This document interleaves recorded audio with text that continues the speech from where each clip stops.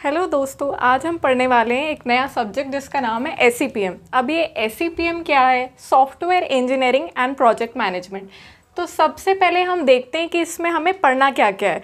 आज हम देखेंगे यूनिट वन तो यूनिट वन के ये कुछ स्टार्टिंग के टॉपिक्स हैं तो पहले हम देखते हैं इसमें क्या क्या है। तो पहला है इंट्रोडक्शन फिर है लेगेसी सॉफ्टवेयर फिर एवोल्यूशन चेंजिंग और फिर आगे और बहुत सारे टॉपिक्स हैं। तो अब हम स्टार्ट करते हैं कि सॉफ्टवेयर है क्या। तो सॉफ्टवेयर बेसिकली हम इतना सुनते हैं सॉफ्टवेयर सॉफ्टवेयर तो सॉफ्टवेयर कुछ नहीं है। बस एक प्रोग्राम है जिसे रन करके एग्जीक्यूट करने से कुछ आएगा। अब वो क्या आएगा? अब हम धीरे धीरे देखते हैं। तो सबसे पहला टॉपिक जो था अपना इंट्रोडक्शन अब ये सॉफ्टवेयर इंजीनियरिंग इंजीनियरिंग क्यों लगा दिया भाई? तो सॉफ्टवेयर इंजीनियरिंग क्या है? बस इंजीनियरिंग अप्रोच लगानी है। अब हम इंजीनियर बन रहे हैं तो अप्रोच लगानी ज़रूरी है उनको। तो बस इंजीनियरिंग अप्रोच है और सॉफ्टवेयर बनाना है। अब सॉफ्टवेयर मैंने आपको क्या बताया था कि प्रोग्राम है। प्रोग्राम में इंस्ट्रक्शंस होंगे। तो इंस्ट्रक्शंस में सबसे ज़्यादा ज़रूरी क्या है? कि वो स्टेप्स फॉलो हों और कुछ मेथड्स बने। तो देखते हैं ये लेगेसी सॉफ्टवेयर क्या चीज़ है।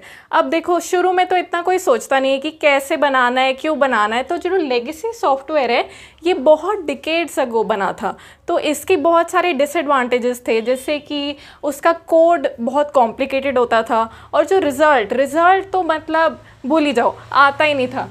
तो लेगेसी सॉफ्टवेयर बेसिकली यही हुआ कि बहुत डिकेड्स पहले जो सॉफ्टवेयर बना, उसका जो प्रोडक्ट नहीं आता था और कोड्स जो थे वो बहुत ही कॉम्प्लिकेटेड थे।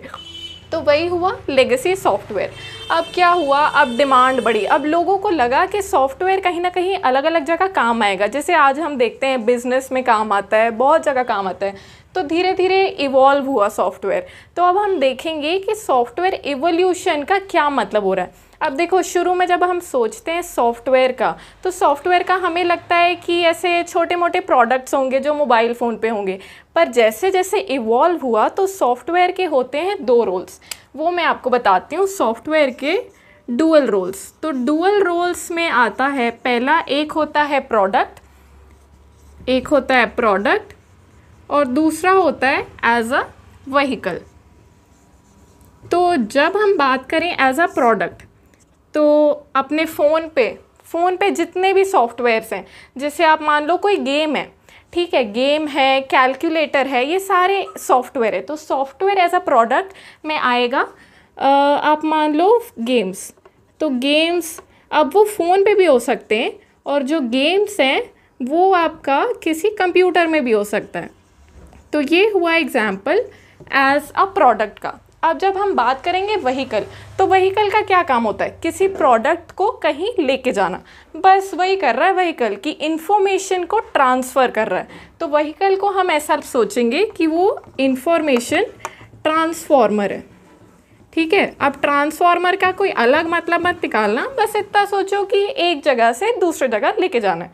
तो उसको हम बोलेंगे इन्फॉर्मेशन ट्रांसफॉर्मर अब इसके एग्ज़ाम्पल में सबसे आसान और जो अभी तक हम लोग पढ़ते आ रहे हैं पूरे कॉलेज भर में, वो होता है ओएस अब ओएस क्या है? ऑपरेटिंग सिस्टम ऑपरेटिंग सिस्टम पूरे कंप्यूटर को संभालता है, लेकिन ऑपरेटिंग सिस्टम खुद भी एक सॉफ्टवेयर है। उस सॉफ्टवेयर के अंदर और भी बहुत सारे सॉफ्टवेयर्स हैं जिसे वो चलाता है। तो इसीलिए उसे हम कहेंगे एज अ व्हीकल तो देखा आपने कि सॉफ्टवेयर, अब नाम तो छोटा है, लेकिन वो प्रोडक्ट भी काम कर सकता है एज अ वहीकल भी काम कर सकता है।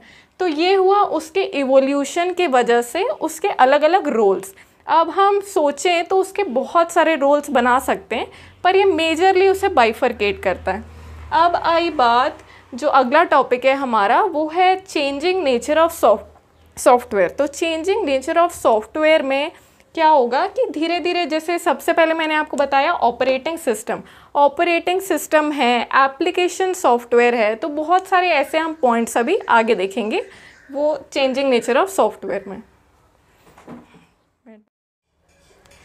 तो हम कहाँ थे? चेंजिंग नेचर ऑफ़ सॉफ्टवेयर तो देखते हैं, अब चेंजिंग नेचर तो चेंजिंग नेचर से हमें क्या समझ आता है कि सॉफ्टवेयर पहले कुछ और काम करता था, अब धीरे धीरे करके चेंज हो गया, अभी कुछ और काम करने लगा है।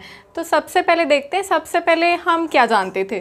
तो पहला आता है पॉइंट सिस्टम सॉफ्टवेयर अब सबसे ईजीएस्ट एग्जांपल जो मैं दे सकती हूँ वो है कंपाइलर अब कंपाइलर तो भाई हमारे, हर कंप्यूटर हमारे हर लैब में है.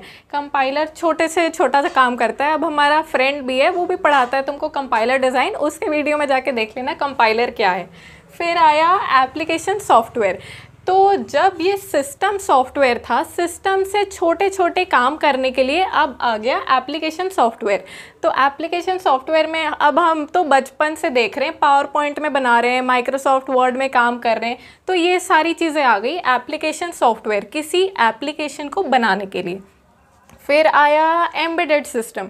तो एम्बेडेड सिस्टम से हमें क्या समझ आता है कि एक सॉफ्टवेयर है जो सिर्फ़ एक काम कर सकता है, जैसे कि मोबाइल फ़ोन। लेकिन क्योंकि ये सॉफ्टवेयर है, अब भाई चेंज हो रहा है नेचर तो उसके अंदर कुछ तो अलग होगा। तो अब कुछ तो अलग में ऐसा होगा कि मोबाइल फ़ोन के अंदर बहुत सारे एप्लीकेशंस होंगे, लेकिन एम्बेडेड सिस्टम का एक ही काम होगा। फिर आते हैं वेब एप्लीकेशंस के। वेब एप्लीकेशंस अब वेब एप्लीकेशंस मुझे लगता नहीं, मुझे एक्सप्लेन करना पड़ेगा, पर फिर भी ऐसे एग्जांपल में, जैसे शॉपिंग करते हैं लड़कियाँ तो भाई दिन भर उसी में शॉपिंग करती हैं तो वेब एप्लीकेशंस उसका एग्जांपल हुआ। फिर आया एआई तो एआई है आर्टिफिशियल इंटेलिजेंस अब आर्टिफिशियल इंटेलिजेंस बताओ, भगवान ने हमें दिमाग दिया अब हम चाहते हैं मशीन को भी दिमाग चाहिए। चलो ठीक है, इसका भी सॉफ्टवेयर बना लेते हैं। तो ये है आर्टिफिशियल इंटेलिजेंस सॉफ्टवेयर फिर अब इस पे ज़्यादा ध्यान देने की ज़रूरत नहीं है। अपने यूनिवर्सिटी में जो मेजर आता है, वो हमने पढ़ा अभी अभी लेगेसी सॉफ्टवेयर वगैरह। तो इसको आप एक बारी ध्यान से ऐसे रीड कर लेना, बस और कुछ नहीं। फिर उसके बाद आता है मिथ्स अब मिथ से क्या समझ आता है? मिथ मतलब जैसे तुमने कोई सुनी सुनाई बात सुन ली हो और उसको सच मान लिया।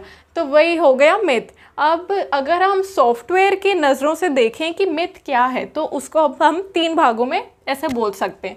तो एक आता है मैनेजमेंट मिथ एक होता है कस्टमर्स मिथ और एक होता है डेवलपर्स स्मिथ तो मैनेजमेंट में अब मैनेजमेंट में जो लोग बैठते हैं, भाई बड़े बड़े लोग, उनको ये लगता है कि अगर हमने काम दे दिया तो वो ख़त्म हो जाना चाहिए। और उतने ही टाइम में होना चाहिए। उनके हिसाब से तो पहले ही हो जाना चाहिए।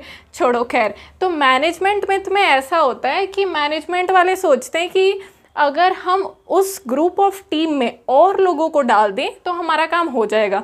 अब आप बताओ, कोई नया इंसान आएगा तो उसको तो आपको एक्सप्लेन करना पड़ेगा कि सॉफ्टवेयर में हम क्या काम कर रहे थे, तुमको क्या काम करना है, बताओ। तो ये तो हुई ना मिथ वाली बात।